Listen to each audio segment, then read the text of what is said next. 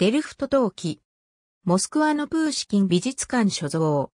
デルフト陶器は、オランダのデルフト及びその近辺で、16世紀から生産されている陶器。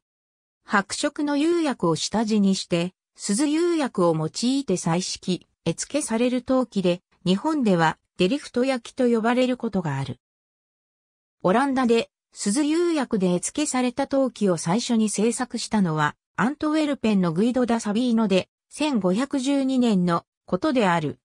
その後、絵付けされた陶器の製作が、オランダ南部からオランダ北部へと広まっていったのは1560年代のことだと考えられている。ミデルブルフやハールレムでは1570年代、アムステルダムでは1580年代に、このような陶器の製造が始まった。しかしながら、優れた陶器の多くは、デリフトで生産されており、ゴーダ、ロッテルダム、アムステルダム、ドルトレヒトなどの都市では、シンプルな普段使いの陶器が生産されていた。1700年から1720年頃に制作されたイマリ焼きを模した壺。アムステルダムのヘールフィンクヒンロッペン博物館所蔵。オランダで鈴油陶器の生産が最も盛んだったのは1640年から1740年のことである。1640年頃から個人のモノグラムや工房の衣装にデリフト陶器が使用されるようになっていった。画家だけでなく、絵付けを行う陶芸職人も参加を義務付けられていた芸術家ギルドであるセール化組合には、1610年から1640年にかけて10名の陶芸職人が、1651年から1660年にかけて9名の陶芸職人が、それぞれマスターとして登録されている。1654年にデルフトで弾薬庫で保管されていた火薬が大爆発を起こし、多数の醸造所が甚大な被害を被った。これによりデルフトの醸造産業は衰退し、広い醸造所跡地を広い工房が必要だった陶芸職人が買い取った。このような陶芸職人の中には、二つの大ジョッキ、若いムーア人の頭、三つの鈴など、以前の醸造所の屋号をそのまま使用し続けた者もいた。炭酸カルシウムが豊富に含まれた泥街道の使用によってオランダの陶芸技術は進歩を見せた。デリフト陶器に使用された粘土は、地元産、トゥルネー産、そしてラインラント産の3カ所の粘土を混ぜ合わせたものだった。それまで陶器は絵付けされ、透明の釉薬がかけられるだけだったが、1615年頃から白色の鈴釉薬で全面が上薬かけされるようになった。このことが調整された陶器表面に深みを与え、さらには青の絵付けの発色を鮮明にすることとなり、時期のような陶器の製作を可能とした。1725年から1760年頃に制作されたデルフト陶器の花瓶と壺。パリの装飾芸術美術館所蔵。オランダ黄金時代には、オランダ東インド会社によって17世紀初頭の中国磁器がオランダに大量に輸入されていた。オランダにもたらされたこのような中国磁器の優れた品質と精密な絵付けがデリフトの陶器職人にも大きな影響を与えている。輸入開始当初はよほどの富裕層しか中国磁器を入手できなかった。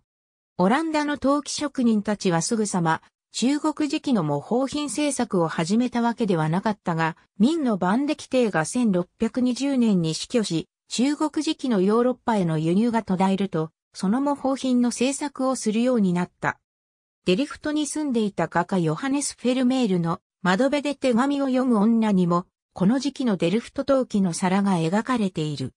1630年から18世紀半ばまでのデルフト陶器には、ヨーロッパで発展したデザインとともに、中国時期独特のデザインの影響が見られる。1700年頃には、3回の低温焼成の工程が必要とされる鈴釉薬の上にエナメル顔料を用いた絵付けをする工房が出てきた。1665年頃に制作された風景画が描かれたデルフト陶器の当版。アムステルダム国立美術館所蔵。デリフトでは家庭で普段使用する装飾のほとんどないものから衣装を凝らした美術品と呼べるものまで様々な種類の陶器が製作されていた。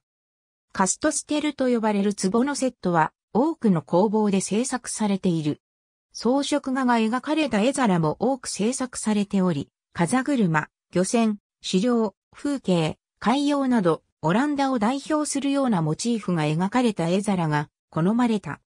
絵皿のセットには鹿が描かれており、会食の場で食後のデザートがこのような絵皿で供されることもあった。デザートを食べ終わると、絵皿に描かれた鹿を全員で歌い出すといった光景も見られた。デルフト陶器では、陶板も大量に製作されており、その製作総枚数は8億枚程度と考えられている。現在のオランダでも多くの家庭に17世紀から18世紀に製作された陶板が伝えられている。1750年以降のデルフト陶器は美術品としての価値が下落したと考える専門家もいる。イギリスの陶芸家で多くの著作があるアラン・カイガー・スミスは後期のデルフト陶器の多くが巧妙だが戦弱な絵付けがなされている。風合いにも独創性にも欠けており、18世紀終わりからのデリフト陶器産業は残念なことに衰退の一途をたどったとしている。18世紀になると、デルフト陶器はイギリス政治期に押されて市場を失っていった。現在のオランダで王子から続いている窯元は、1594年創業のフリースラント州の王立ティヒラー・マッカム工房と、1653年創業の王立デルフト陶器工房しか存在しない。尾翼部分にデリフトブルーの夜明けがデザインされたブリティッシュエアウェイズの B767 現在の職人の手による青色の絵付けを基調としたデリフト陶器はデリフトブルーと呼ばれるブランド名で鑑定書付きで取引されるコレクターズアイテムとなっている。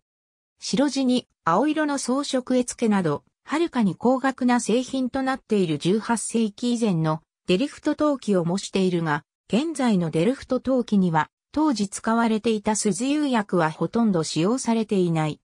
ただし、王立ティヒラー・マッカム工房では現在でも鈴釉薬を用いた陶器を生産している。